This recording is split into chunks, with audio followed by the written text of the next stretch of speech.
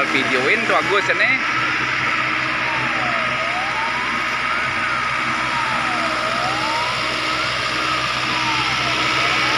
lahan kosong terbakar di Patung Belalang.